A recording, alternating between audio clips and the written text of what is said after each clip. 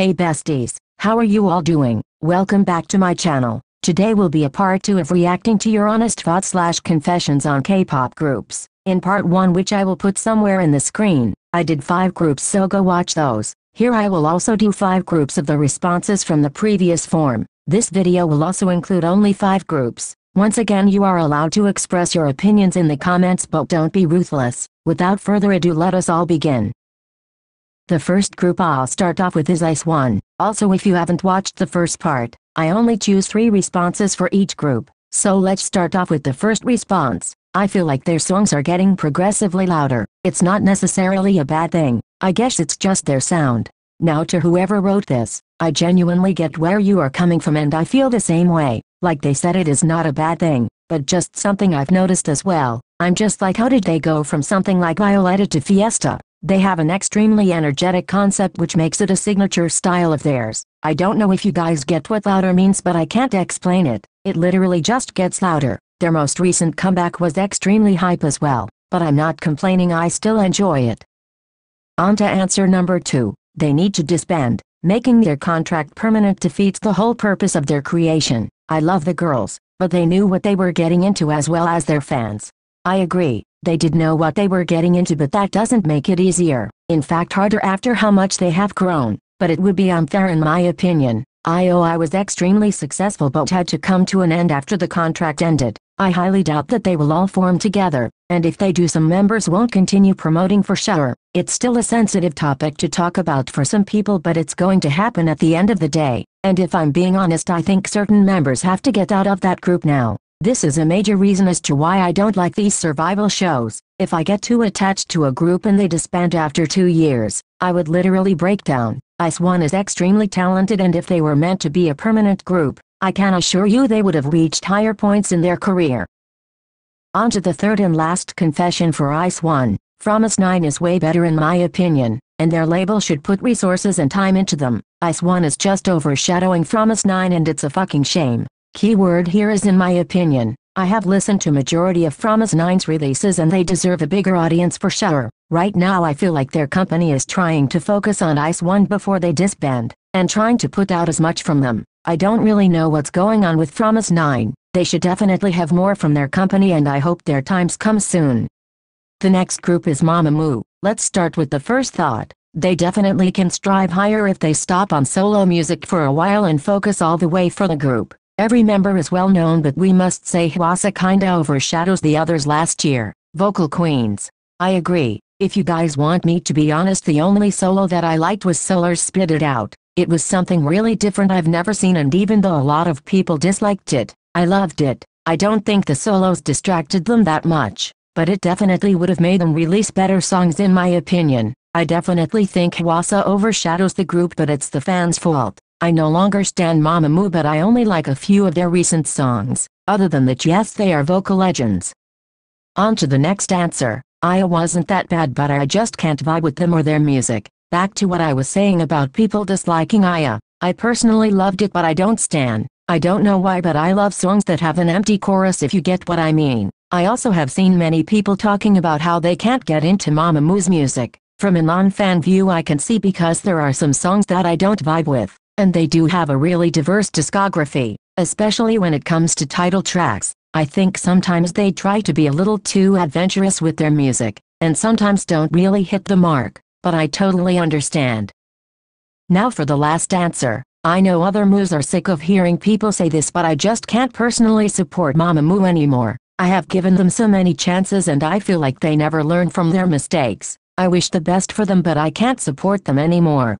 I have never agreed with anything more. I know a lot of people may say that we need to educate them instead of hating, but it's literally 2021 if you don't know your wrongs and your rights, go on the internet and learn about it yourself. Hwasa is the main problem for me and also for a lot of other people. She is 25 years old and is old enough to educate herself. I literally don't have the time to educate these people 3 to 5 business days, and it's the same problem for so many other groups. It's really not that hard to just not use cultures as aesthetics, or say things that may hurt a certain group of people. You call it petty I call it respect, just hold them accountable. I could confidently say that if they weren't problematic, I would stand so hard. They are one of the most talented groups and individuals I have ever seen, and their music and stage presence is no joke, but I just can't. The third group is TXT. Let's start off with the first response. They are the male version of Red Velvet for me, not comparing them or anything. I just think about their future and it is so similar to Red Velvet's. Like they aren't the most popular four-generation male group but they also are very famous, both international and in Korea. They also have an amazing, beautiful, literally art music. I just wish they didn't use much auto-tune because they have such a beautiful voices. It's such a waste of talent. I didn't want to be the one to say it but thank God to whoever said it for me. I find them so similar to Red Velvet. There's five members. They both have one of the most versatile discographies in K-pop. Everyone can be a vocal in both groups and so many more. About their career being similar I do agree with the popularity similarities. They aren't the most popular but they definitely have the hype. I just don't want for TXT's future to end up like Red Velvet's with how it's looking now. The auto-tune is optional but I also agree they don't need it. I don't really know many songs where they use it if I'm being honest, but their voices are really versatile so I do wish they tone it down. Other than that yes I agree.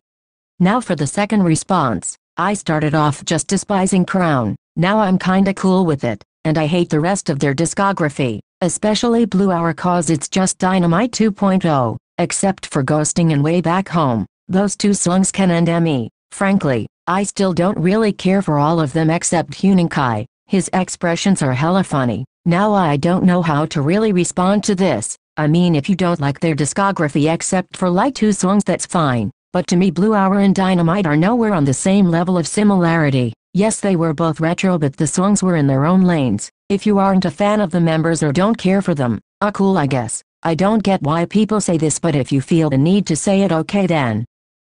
On to the last answer from them. Their music has this really dreamy quality, and I just love their overall vibe, and I'm glad that Big Hit didn't just make BTS the sequel, but instead gave us a group that is so unique and wonderful. 10 out of 10 every song is a bop. A dreamy concept is the perfect way to describe them. Just look at Blue Hour and Nap of a Star for an example. They have a totally different style from BTS which made me so happy. I still don't get how some of y'all can compare their music styles to each other. They are definitely one of the most unique not just with their music, but style in general. Big Hit did them good and they better continue doing so in the future. On to the second to last group which is (G)I-DLE. Let's look at the first response. The (G)I-DLE members to me don't really stand out for their respective roles, aside from probably Soyeon for her rapping. I don't see a lot of Sujin's dancing appreciation, or Miyeon singing appreciation and aside from Soyeon the only person who I hear about is Minnie for her tone. Although I'm vehemently against it, I sometimes think, were they really ready to debut? I agree with the fact that the member that stands out to the public the most is Soyeon, and the company does not do the other members' positions justice. However I do think they were ready to debut, just a very shitty company in line distributions. Nowadays I do see more of Sujin's dancing appreciation, and her doing dance covers which is really good for her. The other members are in the shadows though. On to the second answer, great songs. I think Shuhua is just a visual. Her facial expression is not good and she doesn't do great in neither dance nor vocals. It's my opinion. Now I don't keep up with the group's music except for title tracks, so I don't know if she has had songs to showcase her abilities, but these title tracks are just so sad. She is not the best dancer or performer to me, but I don't think she is just a visual at all. They just don't know how to work with her voice. She doesn't stand out to me as much as the other members but she is memorable. She just deserves way better for her abilities. On to the last response. Don't know how I feel about (G)I-DLE. Completely mixed emotions. I only like half of the members and all the cultural appropriation that's happening without apologies is just, yikes. Cube really is SM in the making. Whoever this is let's be best friends, because I understand you so much. Again back to other groups cultural appropriating. (G)I-DLE is one of those groups. Their music slaps and I would stand if they didn't make some of the decisions they've made. The only member I genuinely like is Sujin. Cube itself is burning down as we speak if we are being honest. It will always will be a mess. I genuinely think (G)I-DLE could be one of the biggest girl groups if they didn't have certain incidents happen. But yet again they did what they did and it's already done. The last group for this part will be LOONA. Here is the first confession. I really dislike So What and Why Not. I just don't think the group suits it and that they should drift more towards concepts like butterfly, and use their number of members as an advantage. like how 17 do in their choreographies. Now I literally loved Why Not, it is one of my top songs from them, so what was okay but I just only love the bridge and rap. Butterfly is my favorite girl group track ever so I definitely want a part 2 of that type of concept. Their choreographies right now are still super complex, I mean look at So What and Why Not, but Butterfly's choreo is unmatched till this day in my head. I mean it was so beautiful and no one has done something like that till this day. They should definitely do more group and duo parts in their choreography, but I have no problem with it where it is right now. On to answer number 2. I don't think that LOONA will ever achieve domestic success. Their appeal mostly targets international markets, and their marketing music and general style isn't one that K-nets tend to gravitate towards. I actually saw many answers like this. Let's get one thing straight though. LOONA is not underrated. They are definitely successful, and to me they can definitely succeed more and become a big girl group, as big as Blackpink Twice or Red Velvet. No because let's be honest people won't give them the chance. They are one of those groups that have a much stronger international audience. They are genuinely missing out though. Now for the last answer of the day. I feel like as much as I want to, I can't get into LOONA, I love their title tracks but not their B-sides. The solo subunits and LOONAverse is too confusing for me. I'm already struggling to get their names right so everything else is just so much more confusing. Otherwise I'm literally in love with Chu. I have been listening to LOONA since 2019 and am still a new full stan and I don't even get their entire story yet. If that's what's keeping you from stanning I get it, because you don't really know what's going on. I love their B-sides but if you don't I respect it. There's a lot into their discography and it can be overwhelming so you do you.